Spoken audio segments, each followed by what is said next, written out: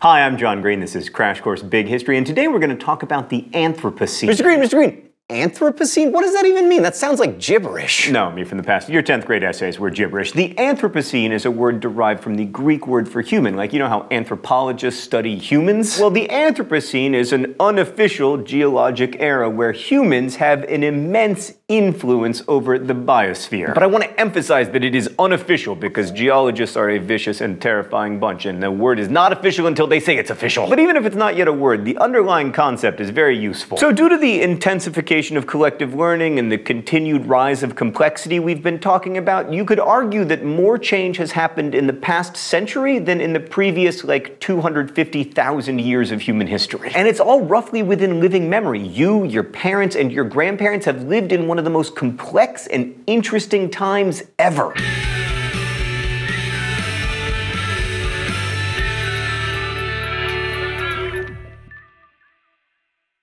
So since 1800, we've had a Cambrian explosion of innovation and discovery. Like in the last few years alone, we've discovered a fundamental particle that weaves together the fabric of the universe, the Higgs boson. We discovered the largest ever black hole, which is about 17 billion times the mass of our sun. We found preserved woolly mammoth blood. We even have electric cars that go more than 125 miles per hour although you should drive them more slowly, obviously. We've grown to a population of 7 billion people, and your phone has more computing power than all of NASA did when they sent men to the moon in 1969. And collective learning is increasing exponentially. Here's Emily Graslie from the Brain Scoop to help us understand the scale of that growth of knowledge. As human populations grow exponentially, collective learning is undergoing a snowball effect.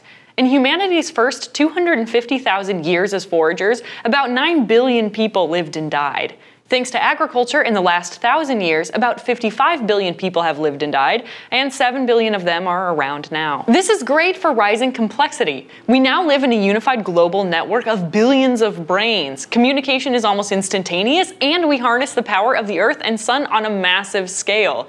The potential for new breakthroughs in technology or in our understanding of the cosmos is heightened by all of this. It's all part of the continuous rise in complexity in big history, a trend that has been proceeding for over 13.8 billion years, from gas clouds to stars to single-celled organisms to trilobites to dinosaurs to culture. The beginnings of the Anthropocene weren't all sunshine and daisies, however. The late 19th century was marked by an increase in the destructiveness of weaponry. A number of colonial empires covered the entire Earth with the exception of a few few non European states which managed to maintain their independence, and mounting nationalism and bigotry led to some terrible chaos in the early 20th century. World War I killed 15 million people, the Spanish flu, which followed it and spread largely as a result of the unified global system that had previously been so valuable to collective learning, killed off three times as many, and 50 million people were killed during World War II. Such is the devastating cost of increased innovation and connectivity. Following World War II, a new wave of industrialization entered East Asia Asia, Central and South America, the Middle East, and other areas. Newly developed crops, especially strains of wheat and rice, helped places like India and China, which in the mid 20th century still suffered famines. Their populations exploded for better or worse, and we harnessed the power of atomic fission, putting immense power in the hands of humans to be used for good or ill. It's the threat of nuclear holocaust combined with the possibility of an asteroid impact or supervolcanic eruption that makes scientists like Stephen Hawking encourage the colonization of the solar system to increase the chances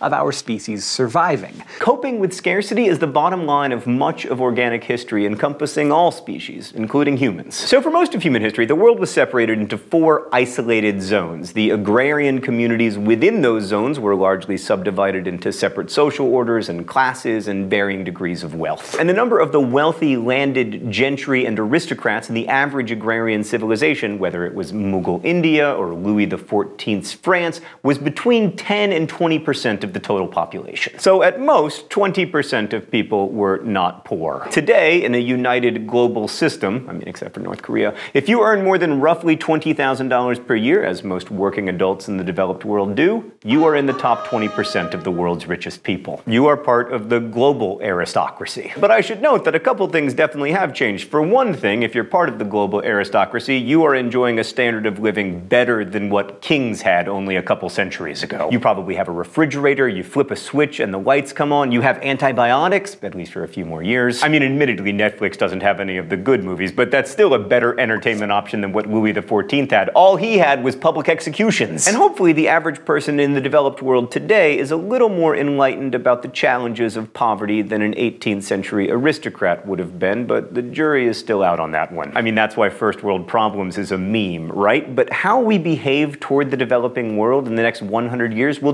determine much of how we are viewed not only by them, but by the thousands of future generations that come after us and read of our deeds in history. So, is human history a story of progress where life has become better for most people over the course of 250,000 years? And will life continue to get better for most people during the Anthropocene? We're going to try to answer that by looking at the Anthropocene in light and shade, which is basically just a list of pros and cons. Pro. Since 1970, manufacturing jobs have lifted approximately 600 million people out of poverty. Modern technologies can now feed and clothe more humans than ever before. Con. More people in the developing world are forced from traditional ways of life and into factory jobs with poor safety standards, long hours, and measly wages. And a lot of the goods that they produce go overseas to enhance the standard of living of a prosperous and wealthy developed world. And while the ratio of impoverished to wealthy countries in 1820 was about 3 to 1, today it's closer to 72 to 1. Standards of living may be increasing on average, but the wealth inequality gap is getting wider and wider. But pro, we have managed to harness a lot of energy. Our use of coal and oil and nuclear power.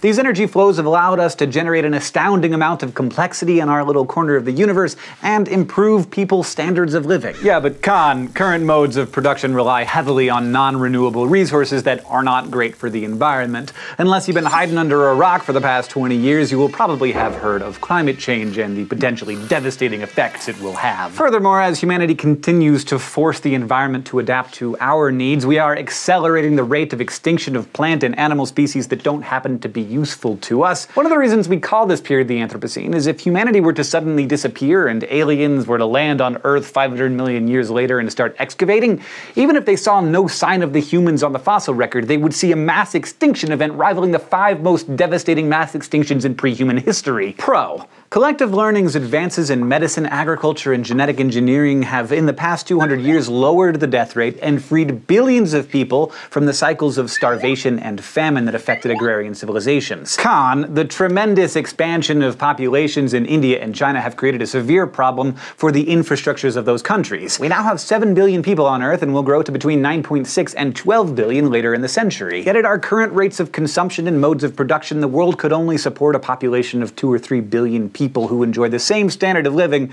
as people in the United States do. China's population may level off by around 2050, India's might level off by 2070. But sub Saharan Africa, a region of the world that already suffers from the highest levels of poverty and is least equipped to deal with problems of overpopulation, is set to expand enormously even past the year 2100. Add to this the likelihood that climate change will reduce the amount of arable cropland on the Earth by 10 to 25%, and we may have a severe population problem on our hands. And as we can see from the population cycles of the agrarian period, overpopulation tends to spark more violence. Pro, in the long term, development of a country's economy tends to change demographic trends. While an agrarian civilization benefited greatly from a farmer having half a dozen kids, first to combat the high infant mortality rate, and second because by the time they were 12 they could help out at the farm, today kids take 18 to 22 years to educate. And they're expensive. Also, adults end up having other opportunities open to them. Fewer kids, more hours on the Xbox, or pursuing a law degree, or a high flying business career, whatever. Economic development can slow population growth. And many of the developed regions of the world populations are stabilizing, which is why it is important to foster economic growth in places like sub Saharan Africa. Con!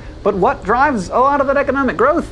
Energy production, and developing countries are more prone to use inexpensive, fast, and dirty forms of fuel to develop rather than more expensive, eco friendly alternatives. This compounds the environmental problem, which in turn can mess up the environment and compound the population problem. So it turns out, it's complicated, and we are a little bit ambivalent about the Anthropocene. In the next century, humanity's population growth will continue, but it'll hopefully level off between 10 and 12 billion people due to declining birth rates. If it doesn't, we might be in trouble. Well, we'll definitely be in trouble at some point. We just don't know when. But even if it does level off, we've still got problems concerning how to support all those people at a decent standard of living and how to find the energy to fuel that process. I mean, we're talking about between 10 and 12 billion people. The first time the world's population got to 1 billion humans was 1804. So right now, we're still heavily dependent on non-renewable fossil fuels. Well, technically, they are renewable, but you need like 100 million years. But there there are a few possible future scenarios. One, we are miraculously saved by some technology in the same way that the Industrial Revolution lifted humanity out of the recurring cycles of famine in the agrarian era. Two, we collapse miserably into ruins and ashes. I don't like two, Stan. Is there an option three? Well, there is. That's good news. Three, we can guide human society into a creative descent, a gentle decline of complexity to more simple subsistence living. Actually, you know what? I'm not crazy about three either. I am all for one. Now, at present, we don't know what scenario will play out. We're acting as if we will be saved by some technology, and in fact, that's the only way that leads to the continuing rise of complexity. But we can't just assume that will happen. And as for the potential dangers of the 21st century, there are environmental disasters, the rise of a superbug that wipes out millions millions upon millions of people,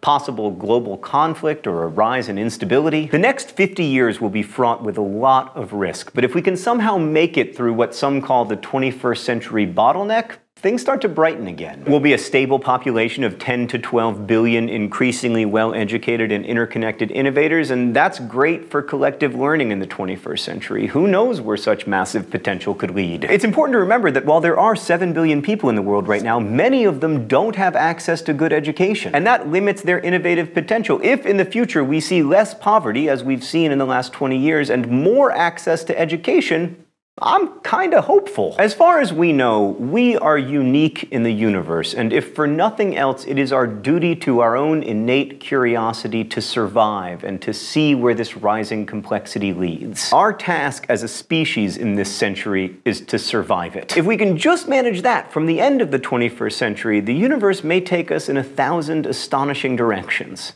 More on that next time.